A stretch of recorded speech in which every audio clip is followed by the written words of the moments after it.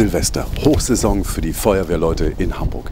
Hier an der Akademie in Billbrook wird nachgestellt, was passiert, wenn mit Feuerwerkskörpern falsch umgegangen wird. Eine waagerecht abgeschossene Rakete trifft eine Person, die Feuerwerkskörper in der Tasche hat.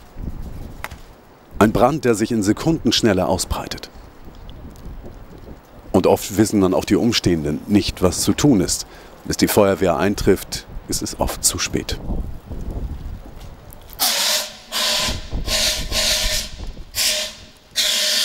Wollten. Wir wollten also da nochmal und die Botschaft hineinbringen, dass also wirklich eine Rakete nur gezündet werden darf und soll, wenn also ein sicherer Stand gewährleistet ist und wenn auch äh, um diese Raketen der Abschussbereich auch genügend Platz ist, damit also keine anderen Personen gefährdet werden.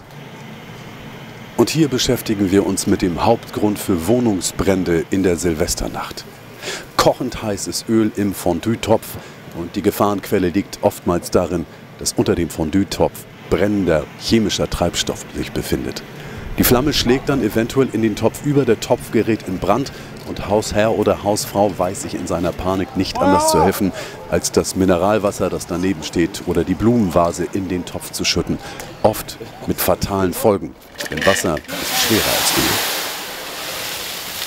Das Wasser verpufft, das Öl spritzt durch die Wohnung und innerhalb von Sekunden steht alles in Brand, sodass die Feuerwehr hinterher nur noch die Trümmer löschen kann. Und hier bitte einfach den Deckel nehmen, äh, im Grunde das Fondue-Gerät äh, abdecken, außerdem letztendlich dann die, die äh, Zündquelle bzw. das Feuer dann zu reduzieren. Das sind also unsere Kernbotschaften, um letztendlich ein gefahrloses Fondue abends, am Silvesterabends dann durchzuführen.